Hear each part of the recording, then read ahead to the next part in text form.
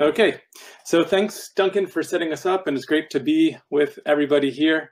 Uh, I'm going to talk about cultivating strategies. So we're gathered here today, as Brendan said. Uh, basically, Topos wanted to have this summit with you, with the AI safety people, and so we applied for a grant and got 50k to convene it. But um, why are we here? Well, it brings together people with lots of skill sets and viewpoints and we exchange ideas and the ones that fit like if you like something i say or i like something you say as duncan said already like these kind of take root in us and we're trying to grow this vine and we leave with new plants and ideas in our garden. Um, but what is this garden that i'm cultivating or that you're cultivating or that like long-term future fund by having us all here gathered is cultivating? What are these for? Um, we want i want myself and i want humanity to survive and flourish and i think we all do uh, but for me, at least, not everything needs to survive. Like, I don't mind if racism goes or wanton pollution or obsolete vacuum tubes go. And also, our values improve over time. So I, I don't want to lock in my values that I have right now. And, and even, even the human form, like my appendix or my height, I don't really care if that kind of moved on. But um, what is it that we actually want to live on? What's a weed and what's a plant? Um, as Owen once mentioned in a conversation, like what's cancer and what's wisdom? So I think that's the question we're looking to get better abstractions on how to think about. And what are good abstractions in general? I mean, I just tried to kind of introduce this, like maybe for me, it seems like good abstractions carry very little content, but they hold structure. So that you kind of put the content in later at the very end. The, in, in good, concise, uh, reusable, maintainable code, the abstractions are pretty lightweight, and then and then you throw the content in like the, the specific strings or whatever at the end. In category theory, also, like you're not going to see the math content, you see the structure that you that later fill with content. Um, and I, I, mean, this one isn't really a uh, an abstraction, but even matter itself, like it, when you try to go looking for where the matter is, you see mainly space, and even like the mass of a proton is mainly like relativistic effects of the quarks. Like the matter is almost not there; it's the structure that matters. Um, I think good abstractions should like be dexterous and facile so that you can work with them easily and it kind of handles corner cases in stride. So like you don't like hit zero and something weird happens. Um, uh, but in terms of like survival and flourishing, I think since we're doing it right now, this this whatever we're doing now, when you know Duncan sets us up to have these kind of conversations, and we have the thought catchers. Oh, by the way, you could be in a thought catcher document for my slides um, that exists somewhere uh, in the main doc. I forgot to, we forgot to mention that. But anyway, what we're doing right now, this kind of survive, you know, this sort of conversation, um, we need abstractions for thinking about that. And we need abstractions for thinking about the origins of life and intelligence. So I think whatever abstractions we come up with, they should fit this activity here and they should fit all the way back to where life kind of began. And that's how I'm going to kind of set up my talk today. Um, so for me, what, what seems to be there all along is this notion of cultivating strategies. And if I only knew what that meant mathematically, uh, I, if I could only formalize it, I'd feel pretty much done. Because to me, like cultivating strategies, and, and this term strategy, I mean like skills and techniques and methods. The term itself isn't really what I mean. It's, you know, cultivating techniques or, or strategies is central to life. And, and I want to try to demonstrate to you what I mean by that throughout this talk. So I would say that here at, at the FRA conference, like this garden that CE, that the Center for Effective Altruism has gathered here today, um, we're they're cultivating, uh, you know, finding the right abstractions. They're find they're cultivating the strategies we need to think for the AI transition. But I think also um, all along, like since I was born, I've been cultivating strategies, uh, each of us, and and life itself, and that's what I'm going to try to talk to you about today. And I'll briefly talk about my progress towards formalizing the idea. Uh, but um, I'm missing something big mathematically. I'll talk about it in the talk, but, but mathematically, what's driving all this? So what's moving us to cultivate strategies to learn and grow and flourish? Like, why do we do this so naturally? Um, a common response is that we're driven to maximize utility. Uh, and to me, that puts a lot of, it's not a good abstraction from my point of view because it puts a lot of content into an intrinsic ordered thing like the real numbers. And I'm going to explain on the next slide why it, it really misses what I'm, I'm looking for. Um, so like, for example, you might say I'm looking for utility and uh, that's the amount of dopamine or serotonin or something in my, in my brain. But like, you'd have to explain why I developed dopamine and why I said like where these come from because because you know, I, I don't want to maximize that and kind of tack it on. I want to understand where where um, utility even comes from. So much of this talk is going to be an attempt to naturalize uh, the utility concept. So to go into my gripe with utility, um, utility functions are defined on a set or a measurable space, but what is it? Like if we call it the possibility space of all your possible experiences and which one you like, like better, or your all your possible act actions and which ones you think you should do. What is that possibility space? I mean, is it R to the 10,000? Like, what are the 10,000 axes of the pot? Like maybe maybe it's a, a weird and stringy, uh, like very particular space that you would never be able to, you know, it's like you would never just be able to name it R to the 10,000 or something.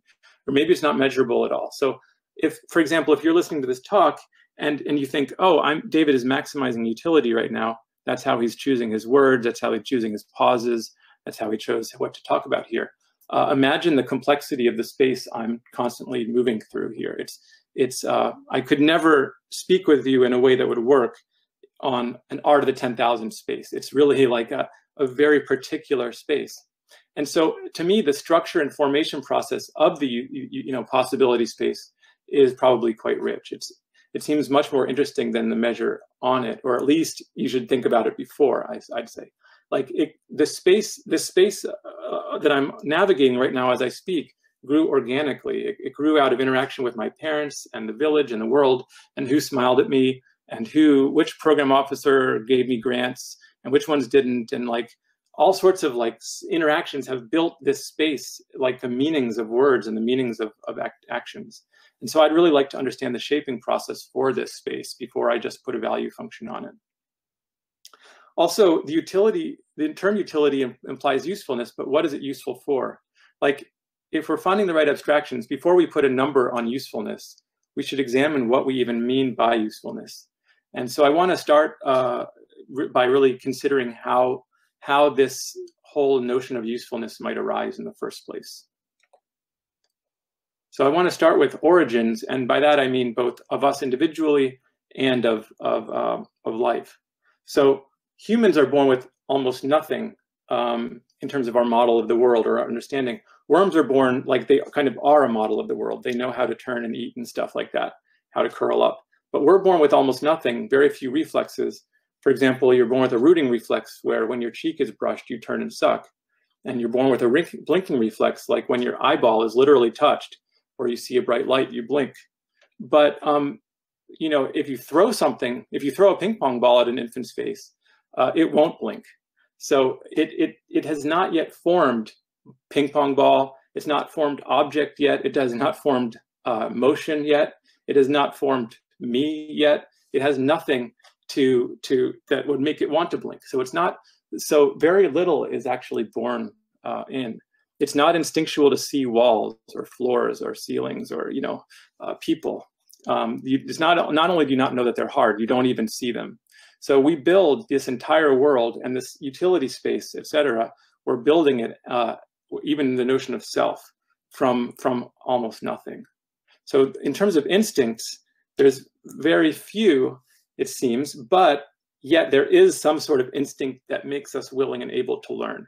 And so if you if you say like but like what is the in like i'm more interested in like what is this basic function of a human or of life that makes us build the possibility space uh, that we that we put a utility function on if we do. Um, what is it that builds our understanding of the universe? Why is that a natural activity? Uh, um, where does it come from? So we cultivate you know the strategies for blinking or for interacting with others etc we cultivate those strategies throughout our lives um, but if we go back even further and consider the origin of life, and, and again, not much is known, so everything I'm saying is plausibility, and it, you know, I'm certainly not an expert, so take it with a grain of salt. I'm getting this from someone named Eric Smith, who's a, a physicist who studies the origin of life. But he says that the simplest life forms exist in the context of a potential difference. So for example, we have the hot core of the earth and the hot sun, and then we have the cold surface of the earth. Or we have chemical potential differences and those those seem to cause uh, or, or, to be where life uh, um, wants to be. So uh, life may have emerged in deep sea hydrothermal vents, where carbon dioxide and hydrogen were coming out of them, and um, there is a high energy to low energy or exergonic reaction where something transformed that CO2 and hydrogen into methane and water. And that chemistry of that of that um, that reaction is just difficult enough that it requires life, because life acts as some sort of catalyst for the reaction, uh, and and it can life can kind of direct the free energy that it gets out of that interaction towards um, non-spontaneous reactions. Like in a chemistry, you know, high school chemistry, what you see kind of happens spontaneously. But life with ATP or whatever, which may have like precursors ATP may have been also found in these uh, alkaline vents, um, uh, it allows the the um, energy to be produced later and not spontaneously. So I, I, would think of this like again, the word strategy might not be the right one, but I'm calling this a strategy. Like that way that it was able to save, say, a precursor to ATP or whatever is kind of a strategy that life found for dissipating energy.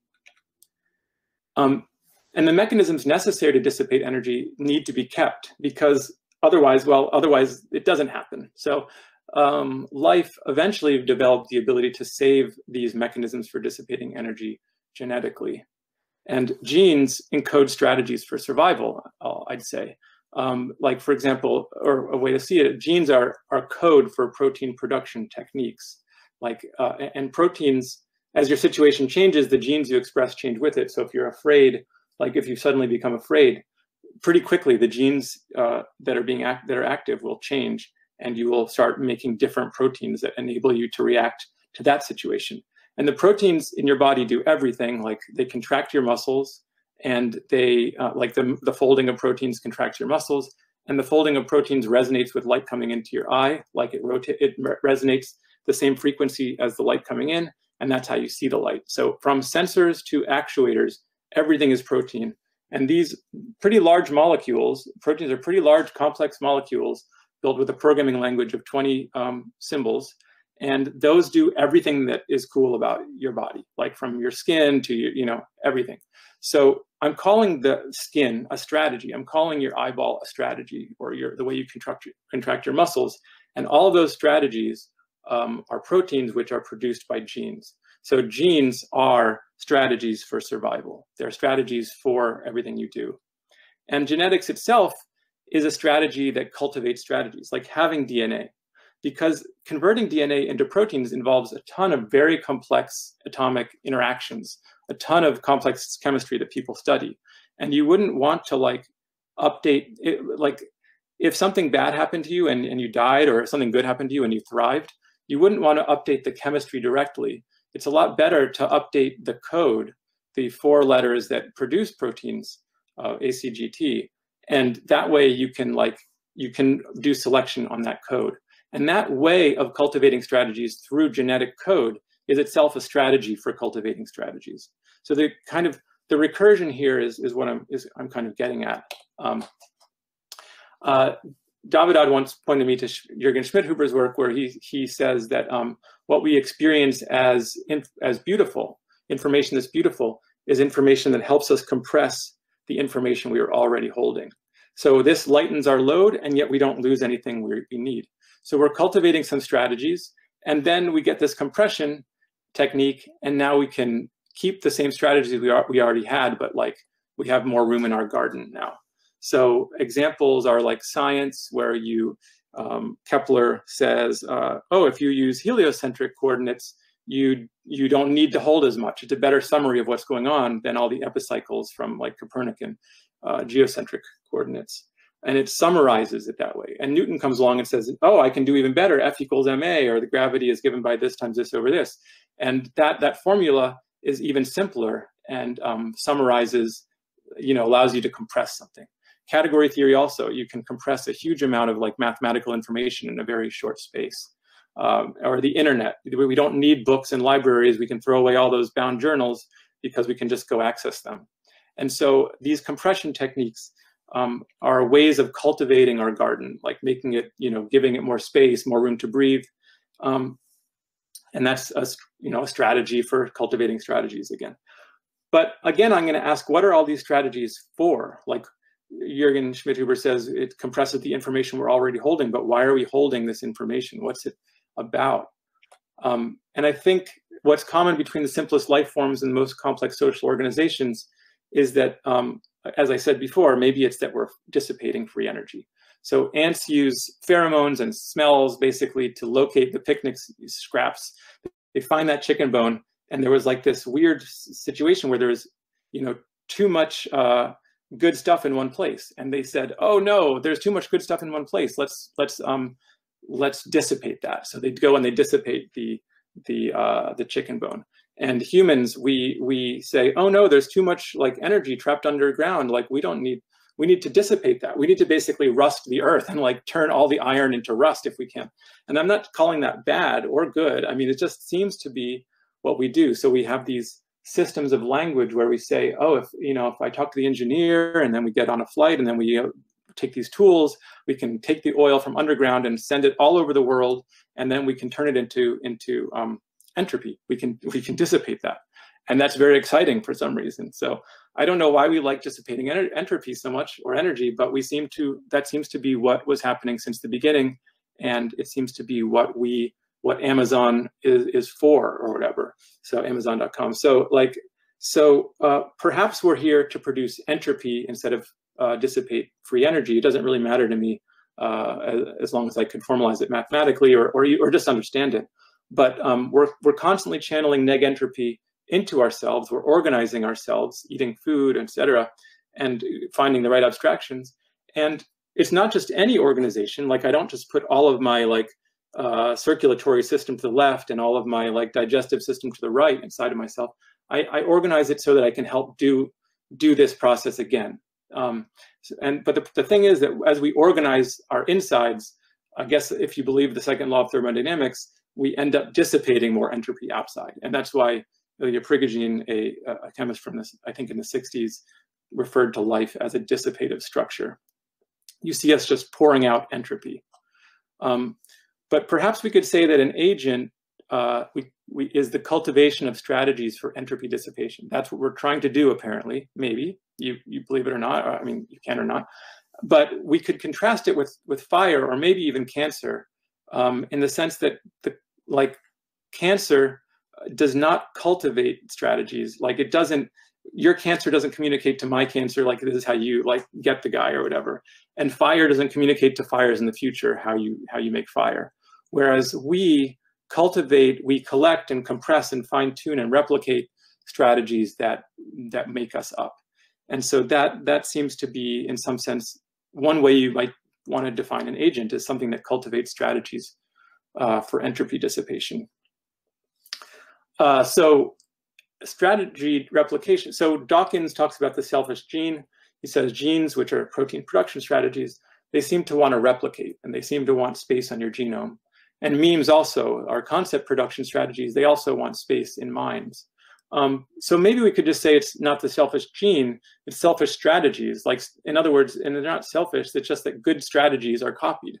And that's all that's really kind of happening here. So maybe we can naturalize the utility concept and say that utility is just our understanding or an agent's understanding of what's good for it. And by good for it, I just mean what gives it more agency. So when you say, I want resources, I want money, I want food, that, that food is not to you know, send your dopamine levels up. It's to make it so that you can be an agent. So it's just more agency. It's just a proxy. Utility just means I want to be more agentic. Um, so maybe you know, I suggested the agency may be just the cultivation of entropy dissipation strategies. And then utility would just be an understanding of how that works. It's not really the thing itself.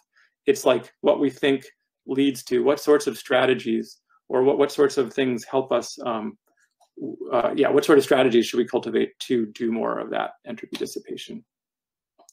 But the genes and strategies, I think Dawkins' point is they don't care that much about the individual agents it's like the ecosystem of experiments altogether that really persists. So like even even a single agent works on behalf of its most useful strategies. Like if we have a conversation, I'll probably try to tell you things I think are cool. In other words, the strategies I think work. And I'll probably like if you ask if I ask you for advice, I'm asking you, hey, how do I like fix this unit or like you know do this thing? um, we, in some sense, like the poet says, I work on behalf of my poetry. So I think like when I, so I go around saying how cool category theory is or something. So I think agents work on behalf of their more, most useful strategies. The genes we have try to replicate, etc. Um, and these, but these bundles of strategies that I am, they or, and we are, we they kind of form and dissolve. Like empires come and go, but the right, but the strategies replicate. And so I think it's really the the strategies we cultivate um, that we should be looking at, and it might give us a clue as to what we should work towards or what we can work towards. And by what we can work towards, I mean like in this upcoming AI transition, what should we try to do? So I want to start by saying, just like utility, there's another thing I don't really, this one, I just don't even understand what people mean by artificial. Uh, to me, everything is natural. So that this could be a topic of conversation if someone wants to come up, come up to me later and tell me what artificial means. But other animals, um, lots of different mammals and crows and octopuses use tools. So to me, tools are natural. Uh, language is natural. Um, water wheels, like putting something in our environment that lets us channel neg entropy into ourselves or channel energy is natural. We've been doing it since the beginning. Like ACGT, the nucleotides is a code. Um, it is a language. So we're part of nature. I just don't understand artificial as like something that's like wrong or something, like it's not real. I, I just don't get the pejorative aspect of, of the word artificial evolution has always driven life to find more efficient strategies. And like the AI or whatever that we're building, to me, really is natural. So I'd love to understand better, like, is there some sense in which artificial makes sense? Um, so rather than artificial, I think the term artifact is fine. It's like a thing we produce. And so there are artifacts of intelligence, and that I totally buy. So what we do as humans, we when, with our intelligence, we try to mimic intelligence we see in animals and nature and people. So um, for example, David Jaz Myers reminded me that computers were originally people and that Turing, in his article where he invented Turing machines, explicitly designed those, those machines to mimic the computers that were people. So he looked for intelligence in nature and he mimicked it in an art in a mathematical artifact. And so we we do that all the time. We we look for life, we look for, uh, to understand life and intelligence, um, we say, oh, how do you organize information? Let's call that a database. Let's like make a thing out of that. Or how do you organize, what, what is it that goes on when people coordinate? Oh, let's call that uh, a protocol. And so we take those, our understanding of life and intelligence, and we, we, um, we make artifacts out of it. And then when we run those in uh, electronically, continuously and a billion times faster than the life really does it, that's, I think, what people mean by AI. I mean, or at least that's not quite what people mean because I'm including computers as AI, as an artifact of intelligence. But like, even computers are really speeding up the complexity of the world. So to me, that that's what I kind of want to mean by AI. Just it doesn't have to be GPT-3. Uh, even even just any, any artifact of intelligence counts. And I think uh, especially when it's running, you know, continuously and a billion times faster than when That is a quick things. question. Uh, artificial, is it not just the adjective for being an artifact? That's fine, as long as it's not pejorative. Okay. Got yeah. it. Thanks. Okay, so um, this will change everything, but it's not divergent from evolution. This is not. This is natural. So, as if artificial means opposed to natural, then that, that's the question. Like, what, what could that mean, not, uh, not natural? So um, I think it's completely part of evolution that we would try to uh, channel, enter, you know, channel uh, organization into ourselves, try to uh, increase our speeds, etc. And so, and yet, I also, to me, it's also natural to want this transition where we have more and more AI to go well for us. That's obviously also a good idea to cultivate good strategies to deal with that. But I imagine when I think of AI, I think of it more as the, something that'll interpenetrate human activity rather than being individualized. So maybe there will be some individual AI machine like GPT-3 or something terrible that has desires to make paper clips or, or something, but maybe not. Uh, but I think we already see artifacts of intelligence all around us in computers and databases and grammar checkers and, and recommender engines and stuff. So when we uh, when we, what is it called? Um, oh, when you're typing, when I'm typing and the, the machine finishes my sentence for me, and I'm like, oh yeah, that's actually better than what I was going to say. Thanks. Uh, it, it starts to interpenetrate. It starts to be unclear as to which one's me and which one's the AI. And I think that's going to just get more and more the case. Like the way that Facebook or you know all sorts of different things uh, interact with us, it starts to make it unclear whether we're choosing who our friends are or what we say, or whether like AI is influencing us. And as it interpenetrates us through our own choices, uh, it becomes part of our choices and it just cross-cuts and threads through our lives. Um, email and Zoom and Google Docs lead to an ability to think together. So Joey, our recorder, recently quoted saying uh, something to me saying that it takes many brains to make a mind. And I think that's right. Like none of the stuff I'm talking about today, uh, you know, is really comes from my single brain. Like it's a huge amount of interactions uh, with tons of people. And so this GatherTown platform, for example, lets us think together and exchange information very fast. And so what I think maybe there'll be an, a super intelligent AI, but I think what's really clearly emerging is some kind of collective intelligence, as Brendan mentioned. And again, of course, this can really be quite dangerous. Uh, like money, it can concentrate human greed and fear and um, allow us to mercilessly and even unconsciously exploit the labor and bodies of people and animals. Like if I go to the, you know, I go, my, my, my phone dies and I get a new one, uh, very casually, or I buy strawberries at the store very casually, like I'm just mercilessly ex exploiting the labor and bodies of people and animals, or when I eat meat or something.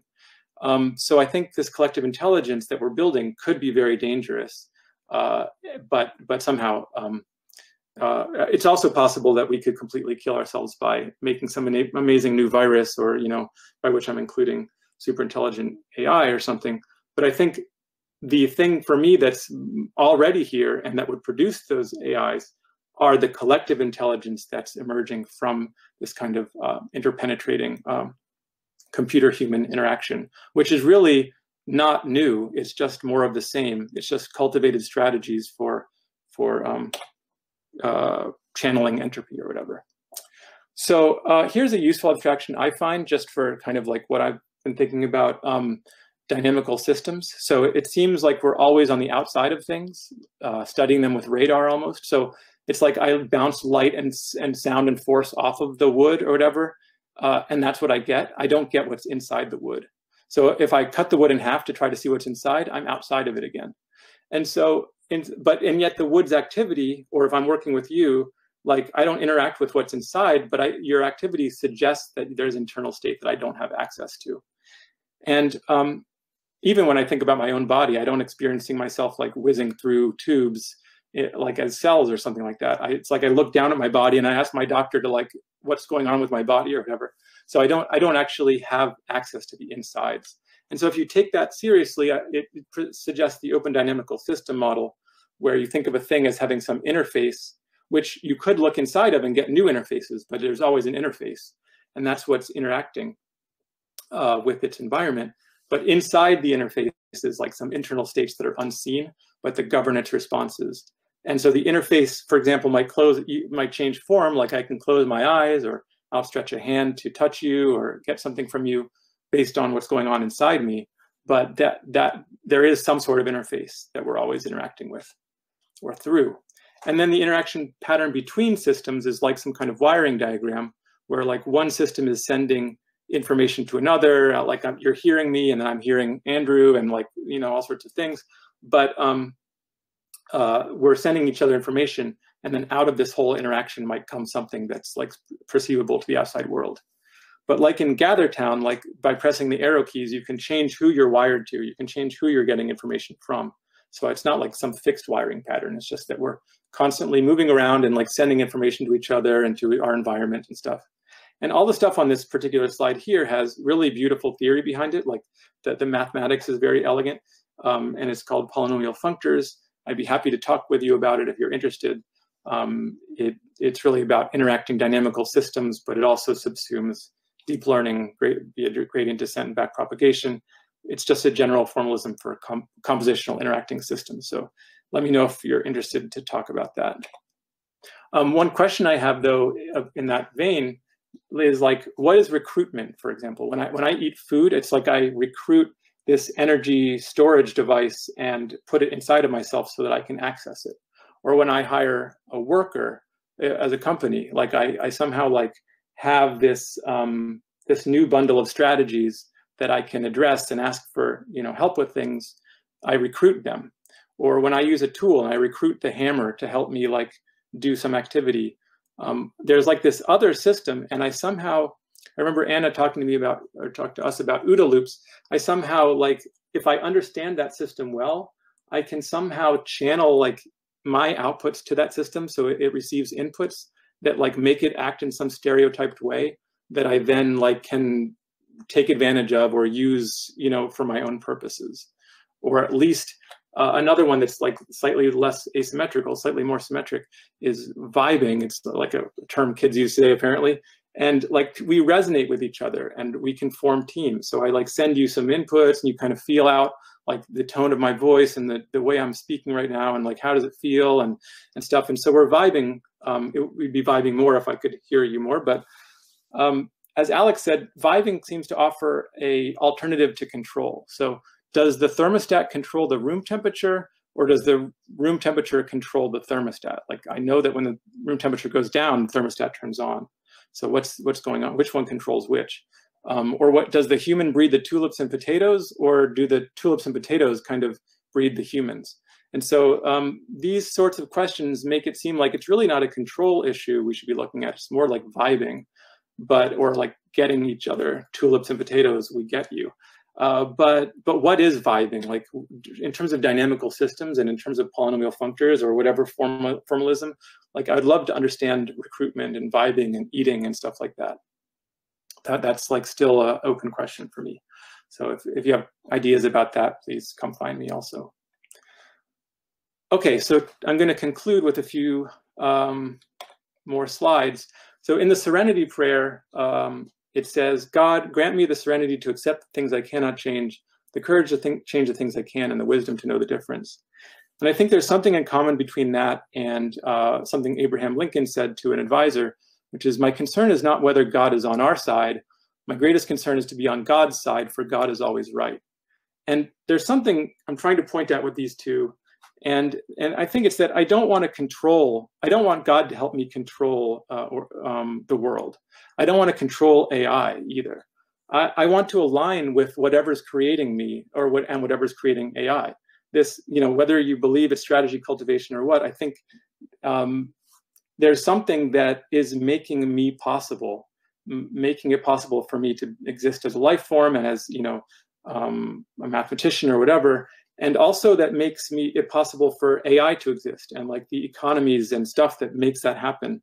And I think there's something going on that that is natural and that we that I want to align with. And so I want to be on God's side in the sense that I think there's something going on that that is actually creating both me and AI.